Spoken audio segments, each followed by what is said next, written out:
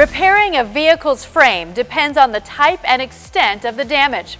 We would like to give a brief overview of how to identify common types of frame damage in order to plan your anchoring, holding, and fixturing strategy. We have Jeff and Cody here. Let's see what they have to say. So Cody, we have this 2021 Ram 1500 quad cab. It's recently involved in an accident. We've already measured it. But before we look at that, I'd like to get your idea of what you think actually happened. Okay, well just from looking at the vehicle, it looks like it had a front collision on the driver's side and both front rails look like they've been swayed over. But it might have a slight twist, but until I use the measuring system, I won't really be able to tell what secondary damage has happened. Very good, Cody. Let's go take a look at our Vision 2 X3 measuring system to see what the damage really was. Okay. By looking at our screen, you can see, Cody, that you were very close on your initial assessment of the damage. Our analysis tab here shows that we have an extensive sway in the front end, which we could see by looking at the truck. But what we didn't see is that there's actually some sway there in the rear end. I love the analysis tab because it gives you a very good visual representation of the damage without the numbers. If we look more closely here by clicking on our measuring, we can actually see the numbers in our length, width, and height columns. It gives us a true reading of the damage we've already found. By looking at the front, you can see we have at least 80 millimeters of sway on the right side and over 200 millimeters of sway on the left. So that did take an extensive shot to that left side. You can see there in the rear that there was actually 10 and 12 millimeters of sway that we got transferred into the secondary damage of the rear. There's also some damage there in the center section, and as you said before, we didn't see the twist until we actually measured. So you'll notice there by the damage that we do have diamond there in the center section. This is represented by the negative 12 and negative 13 in our length of measurements on the passenger rail. When that actually got hit, that rail did get drove backwards. Our Vision 2 X3 measuring system has a unique way to measure diamond and actually even to pull it. So let's go over to the bench rack and I'll show you how we fix that. Okay.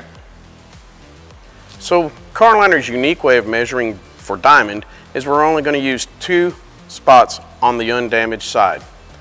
I've already selected this spot from our control points.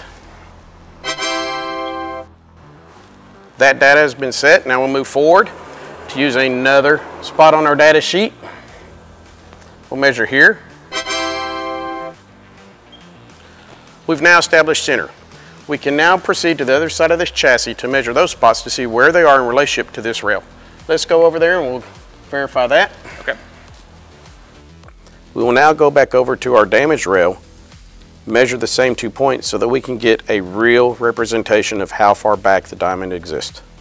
This will show us the misalignment in our center section of the vehicle, which is the first area that we need to repair. When repairing our damage, we will start with the center section of this vehicle while monitoring our end sections. So let's fix this intersection. You'll see the arrows on the passenger side rail are pointing back. We will need to plan to pull this rail forward. We will begin by loosening the cam bolts on the measuring arms attached to the bench rack. We're going to go ahead and make this pull while we have our Car-O-Tronic measuring system monitoring one of our centering points. This will give us real-time measurements while we pull.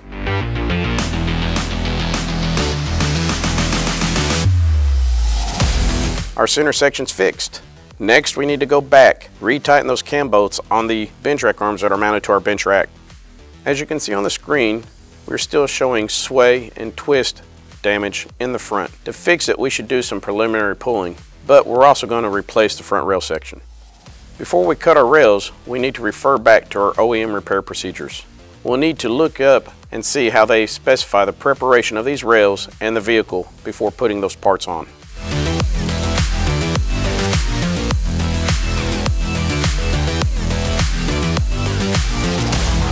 So now that we've got our rail prepped according to OEM repair procedures and put back into the frame, we're going to use our EVO 3 system with our measuring to ensure that we have it exactly where we want it before we go any further with the welding process.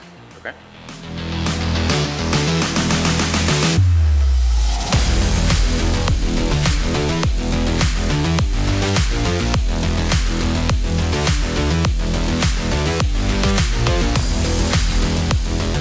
Now that we have our vehicle restored back to our manufacturer specifications, let's go back to our vision system Let's click the next button to move from repair to documentation.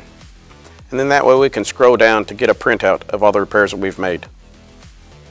Here at Car-O-Liner, we're committed to bringing innovative and OEM approved solutions to the market that make your lives easier. We offer top of the line technology that provides an accurate and proven measuring system solution for you. Check out the links below for more hands on Car-O-Liner videos.